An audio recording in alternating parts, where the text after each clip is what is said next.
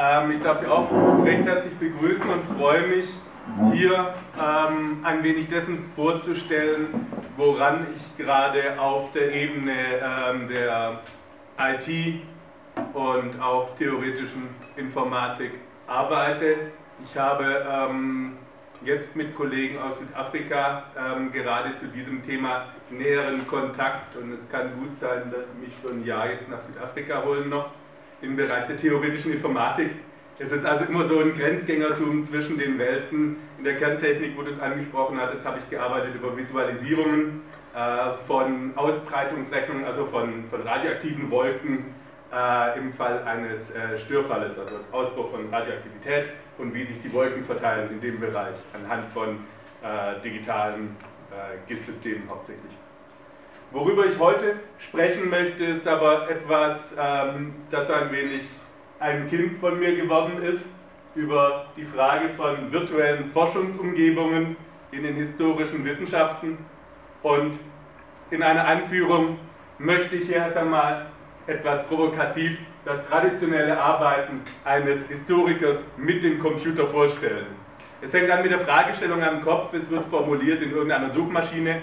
Ähm, Meinetwegen wird dann Wikipedia eingeblendet, man macht das schöne Copy-Paste, zieht es in lokale Systeme hinein. Wenn es hochkommt, ähm, werden Fachdatenbanken dazu genommen. Ganz wichtig sind Elemente wie Schmierpapier, dann möglicherweise noch die Nutzung kartografischer Systeme, zentral am Ende das Besprechen beim Kaffee, das Formulieren im Kopf und dann das Schreiben in Word. Als ich das zum ersten Mal meinem Chef gezeigt hatte, hat er mich gefragt, ja und wo sind die Bücher? Dann musste ich ihm leider sagen, dass die dort keinen Platz mehr haben. Natürlich kommt das Ganze in unterschiedlichsten Bereichen und in unterschiedlichsten Reihenfolgen vor, wobei ich im Nachhinein sagen muss, dass ähm, der Bereich, das Besprechen beim Café, doch einer der wirklich zentralen Elemente für diesen Workflow eines Historikers am Computer ist. Das Ganze ist für mich etwas, was ich Computer-Aided History oder Computer-Aided Humanities nennen würde, aber nicht Digital Humanities. Deshalb die Frage, wie wir zu genuinen digitalen Geisteswissenschaften gelangen. Und hierzu müssen wir die Frage erstmal von Geisteswissenschaften generell stellen. Diese Frage wird meiner Meinung nach in der modernen Debatte, die stark von der Informationstechnologie geprägt ist, viel zu wenig angesprochen.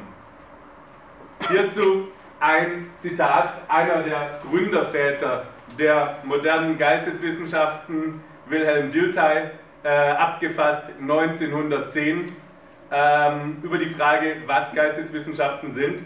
Und hier am Ende ist zu lesen, als, Ge als Gegenstand der Geisteswissenschaften entsteht ähm, das erkannte Menschheit nur insofern menschliche Zusammenhänge erlebt werden, sofern sie in Lebensäußerungen zum Ausdruck gelangen und insofern diese Ausdrücke auch verstanden werden. Das ist die Grundlage der Geisteswissenschaften im Gegensatz zu dem, was wir als Naturwissenschaften verstehen im klassischen Sinne.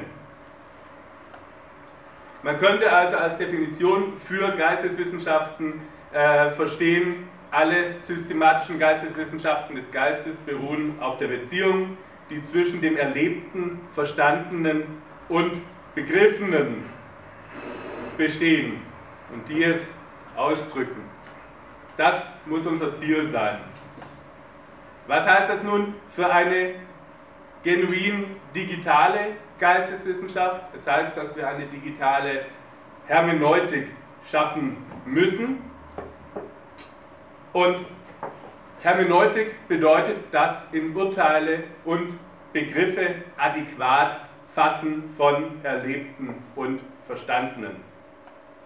Das heißt, dass es nicht um irgendeine Art von realitätsgetreuen Nachbildungen geht, wie sie ähm, oft gerade im Bereich äh, der Informationstechnologie über die neuen Darstellungsformen versucht wird. Es geht gerade nicht darum, ähm, wie ich in einem Aufsatz letztes Jahr schön darstellen konnte, äh, eine virtuelle Zeitmaschine zu bauen oder den sogenannten Data-Driven Turn, also alles über äh, Daten gesteuert, ähm, als geisteswissenschaftliche Methode anzusehen und es geht definitiv nicht um das Primat äh, quantitativer Methoden über die Digital Humanities.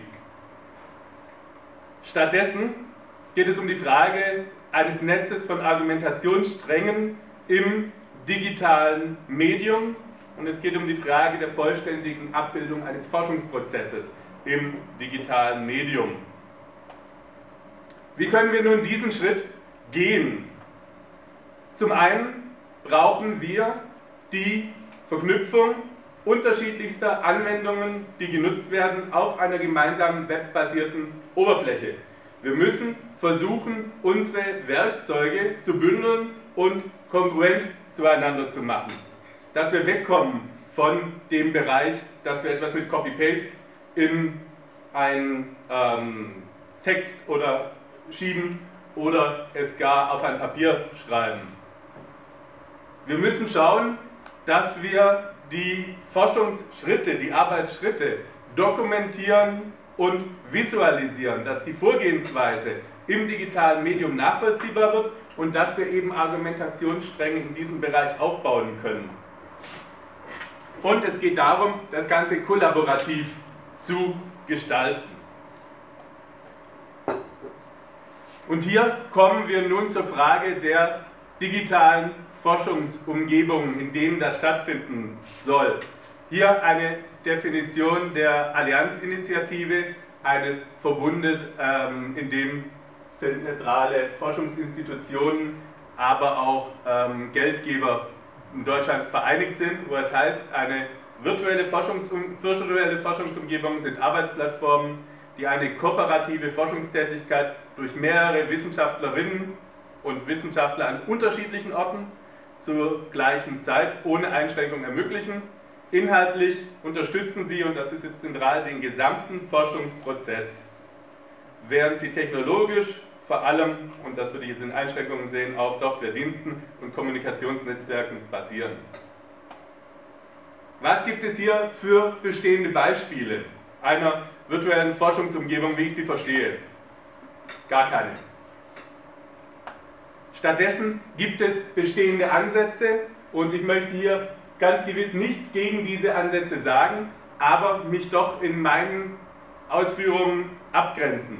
Hier ein Beispiel, in dem wir unterschiedlichste Dienste verbunden haben. Wir haben ein Forum, wir haben einen Blog, wir haben eine gewisse Dateiverteilung, wir haben eine Textgenerierung und eine Community. Das ist für mich keine virtuelle Forschungsumgebung. Einen Schritt weiter ähm, und ich nenne wirklich nur gute Beispiele in diesem Bereich, äh, findet sich hier. Hier wird wenigstens der Prozess des Forschens, angefangen vom Sammeln über die Analyse, über die Edition bis hin zur Publikation und zur Archivierung, versucht in einen Workflow zu führen. Aber dieser Workflow ist auch ganz klar zweckgerichtet, nämlich er läuft über Texte und er läuft über Annotationen, er läuft auch in einem gewissen thematischen Kontext und ist mir deshalb auch nicht frei genug. Was sind also virtuelle Forschungsumgebungen für mich in meiner Definition jetzt nicht? Es sind keine Kommunikationsplattformen, keine reinen Kommunikationsplattformen. Es sind auch keine Document-Management-Systeme mit Repositorien und auch keine Sammlungen von Tools, die nicht miteinander interagieren. Und sind ganz gewiss keine themenspezifischen Plattformen. Was habe ich nun für Anforderungen stattdessen an digitale Forschungsumgebungen? Sie müssen unabhängig sein von spezifischen Fragestellungen. Sie müssen eine Varianz von nutzbaren Werkzeugen beinhalten, um individuelle Nutzung jener Fragestellung zu gewährleisten. Sie müssen gemeinschaftliches vernetztes Arbeiten ähm, beinhalten und gleichzeitig trotz äh, Kollaboration einen rechtlichen Schutz der individuellen Forschung, also Private Property, Wie will ich jetzt diese Ansätze, die ich gebracht habe, umsetzen? Zum einen auf technischer Ebene über die Entwicklung und äh, Integration von gekapselten Komponenten auf Basis anerkannter äh, Standards und generischer Schnittstellen.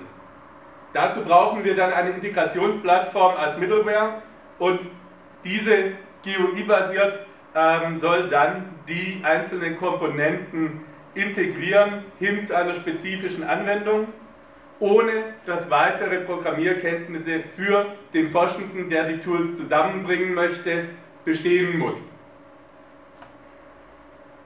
Auf der organisatorischen Seite brauchen wir hierfür, gerade wenn es kollaborativ ist, ein klares, stringentes Qualitätsmanagement.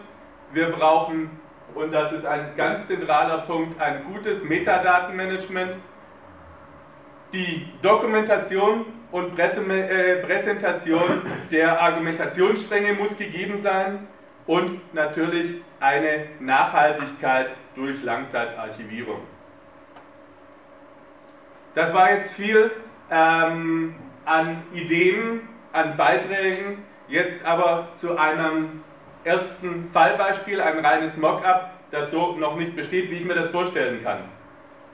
Am Fallbeispiel einer virtuellen Forschungsumgebung zur Provinz Germania Inferior in römischer Zeit. Wir haben ein Benutzermanagement, wir haben Projekte, wir können sehen, wer kollaborativ da ist und wir können bereits bestehende Projekte einsehen. Wir haben auf der einen Seite eine Werkzeugkiste mit unterschiedlichsten Tools, die hier, sieht man nur klein mit Punkt, Punkt, Punkt zu sehen ist, als noch weitere, die hinzugefügt sind. Wir haben ein Logging-Verfahren, das meine Arbeitsschritte aufzeichnet und den anderen nachvollziehbar macht. Und ich kann jetzt einfach hier zum Beispiel ein Interface klicken, dann bekomme ich die Möglichkeit, eine URL oder ähnliches einzutragen und zu sagen, ich nehme das Ganze auf. Ich kann auch in diesem Bereich einfach sagen, ich will eine neue Datenbank erstellen. Dann bekomme ich eine Maske, in der ich meine Datenbank designen kann und praktisch äh, die Ebenen modellieren. Jetzt habe ich eine Repräsentation, die kann ich ganz normal abfragen, wie ich auch alle anderen ähm, Datenbanken im Netz abfragen könnte gebe einen Fundort ein, bekomme meine Ergebnisse und kann mir diese Ergebnisse auch en Detail anzeigen. Also so wie ich es auf der Seite auch könnte. Gleichzeitig kann ich jetzt aber auch sagen, ich möchte eine Karte hinzuziehen, die ich aus einem ganz anderen Bereich nehme. Ich sage also, ich nehme eine kartografische Repräsentation und beziehe sie darauf, dann übernimmt er mir die Fundorte, setzt sie zum Beispiel äh, in Beziehung zu einer Ortsnamensdatenbank und verzeichnet sie mir hier automatisch auf der Karte. Wenn ich jetzt eine andere Karte hinzuziehe aus einer ganz anderen Ressource, kann ich mir denselben Ort auf der Karte anzeigen lassen. Ich kann aber auch sagen, ich möchte hieraus, meinetwegen aus den Personennamen, eine Netzwerkanalyse machen und mir diese repräsentieren oder darstellen lassen. Die sind nun direkt miteinander verbunden. Also alle in Beziehung zueinander. Wenn ich jetzt hier auf dieser Karte einen anderen Bereich heranziehe, ändert sich sowohl meine Repräsentation in diesem Bereich als auch meine Abfrage an die Datenbank und wird miteinander in Beziehung gesetzt. Und das Ganze kann ich natürlich auch noch in einem zeitlichen Rahmen ähm, navigieren. Wichtig dabei ist, dass ich das alles aufzeichne und mitlogge und so praktisch einen Strang an Abfragen bekomme, die ich mir darstellen kann. Und ich kann weitere Datenbanken hinzuziehen, entweder zu gleichen Themen oder auch zu verwandten oder auch ganz anderen Themen. Und ich kann so geloggte Projekte nutzen, indem ich auch diese mit heranziehe und deren Argumentationsstränge integriere in meine Argumentationsstränge. Hier könnte ich jetzt zum Beispiel sagen, dass ich einen ganz anderen Arbeitsbereich, nicht römische Religion oder auch nicht römische Epigraphik, sondern die Frage von Kasernen und Militär der frühen Neuzeit hinzuziehe. Da wird man am Anfang erstmal denken, was soll denn das? Hintergrund dafür wäre, dass die Forschenden im 19. Jahrhundert größtenteils Militärs waren. So wäre es nicht verwunderlich, dass meine ähm, Inschriftenverteilung durchaus im direkten Kontext steht zur Verteilung der Forschenden, also der Militärs, weil sie nur in ihrem Bereich geforscht haben. Damit fallen weite Bereiche möglicherweise der Zerstörung an Heim, an Inschriften, aber nicht, weil sie dort nicht existierten, sondern weil sie in der frühen Neuzeit einfach nicht gesammelt wurden. Solche Fragestellungen kann ich praktisch aufbauen, indem ich unterschiedlichste andere ähm, Zeit- und Thematikstellungen hier verbinden kann. Was wären nun daraus Konsequenzen? Zum einen schaffe ich eine zeitliche und räumliche unbegrenzte ähm, Arbeitsplattform. Das heißt, ich kann moderne Forschungsansätze wie den Vergleich von Weltreligionen zwischeneinander aufbauen. Ich kann sagen, ich mache eine Argumentation und setze die jetzt plötzlich nach Asien und schaue, was passiert. Mit gleichen Daten oder mit ähnlichen Daten und vergleiche, ob sich hier ähnliche Argumentationsstränge ergeben oder nicht. Ich kann aber auch etwas machen, was sich die Historiokratie nennt, also äh, die Weitverknüpfung zwischen Elementen ähm, innerhalb von Weltreligionen. Also nicht gekapselt miteinander vergleichen, sondern wirklich schauen, welche Auswirkungen hat jetzt eine Analyse, eine Veränderung in einem Bereich der Welt auf den anderen Bereich der Welt. Ich kann aber auch das Gleiche machen im zeitlichen Kontext. Ich kann sagen, dass ich ähm, Antike gekapselt mit Moderne vergleiche und zum Beispiel soziologische Themen der Moderne mit antiken Daten füttere und schaue, was passiert. Oder in eine Longue Durée gehen, dass ich sage, ich vergleiche jetzt ähm, die Verteilung der Militärs von der Antike bis in die Neuzeit hinein und sehe hier einen logischen Strang. Es gibt eine hohe thematische Varianz, sowohl im historischen Bereich als auch interdisziplinär. Ich kann Soziologie hinzufügen, ich kann Religion hinzufügen, theologische Elemente, Archäologie, meinetwegen Kunstgeschichte, andere geschichtliche Themen. Und ich kann eben hier, und das ist das Zentrale, mit bestehenden Ressourcen arbeiten. Ich muss nicht immer alles neu erfinden, ähm, und ich kann kollaborativ arbeiten. Das wäre eine der großen Herausforderungen in dem Ganzen. Und dadurch ergeben sich einfach auch, weil die Datenmengen größer werden, die Möglichkeit von explorativem Forschen, von spielerischem Forschen, dass ich sage, so jetzt ziehe ich mal etwas ganz anderes hinein und schau, was passiert. Das ist ein Klick, den ich dann mache, mehr brauche ich dafür nicht. Das ist das Zentrale dran. Ich muss jetzt nicht anfangen und mir sämtliche Daten neu erheben, sondern ich kann benutzen, was ich habe und schauen, was passiert. Ich komme zur Frage von offenen Fragen, die sich hier für mich noch stellen. Die technologische Umsetzung ist noch in gewissen Bereichen im Anfang begriffen. Der Aufbau einer Forschungsumgebung ist etwas, wo wir schon stark dran sind. Hierbei stellt sich noch die Frage der ähm, Erstellung von eigenen Datenquellen im System, also wie kann ich Datenmodellierung und die Umsetzung der Datenmodellierung quasi auf dieser Oberfläche selber noch generieren. Es stellt sich die Frage der Manipulationsmöglichkeiten bestehender verteilter Daten, ohne dass ich sie in der Quellendatensammlung ändern kann. Sprich, ich muss, wenn ich Änderungen vornehmen will, weil ich ja analytisch arbeite und sage, die eine Lesung, eine Inschrift stimmt nicht, ich nehme eine andere Lösung, diese separat repräsentieren und trotzdem in klaren Bezug setzen mit dem, was ich in äh, meinen äh, verteilten Daten besitze, ohne die verteilten Daten anzurühren. Die Dokumentation des wissenschaftlichen Arbeitsganges ist ein weiterer Punkt, an den wir angehen müssen, nämlich die Frage, kann ich eine Ontologie des hermeneutischen Prozesses aufbauen und wie sieht die Formalisierung dessen aus?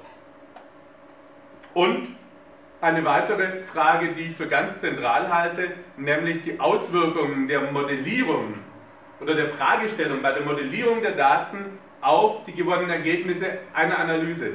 Wenn ich eine Datenbank aufbaue, dann mache ich das immer unter einer Fragestellung. Ob ich sie jetzt definiere und benenne oder nicht, ist nicht gegeben. Aber wenn ich eine administrative Datenbank aufbaue, zum Beispiel für ein Museum, dann ist ganz klar die Fragestellung, wo sind meine Objekte und wie kann ich sie verwalten. Wenn ich nun religionshistorische Fragestellungen auf diese Datenbank setze und merke, ich bekomme keine Ergebnisse, dann liegt das möglicherweise an der Modellierung der Daten und nicht an den Daten oder an den Quellen. Diese Elemente müssen hier noch näher angeschaut werden und da ist ganz wichtig die Dokumentation sowohl der Fragestellung als auch ähm, der Umsetzung und des Datenmodells auf Ebene von Metadaten. Wie bereits gesagt, ich kenne noch keine bestehenden Systeme in diesem Bereich. Wir sind am Arbeiten, aber äh, ich hoffe, ich konnte einige Zukunftsperspektiven und Ideen vorstellen und kann nur sagen, lassen Sie uns gemeinsam daran arbeiten. Dankeschön.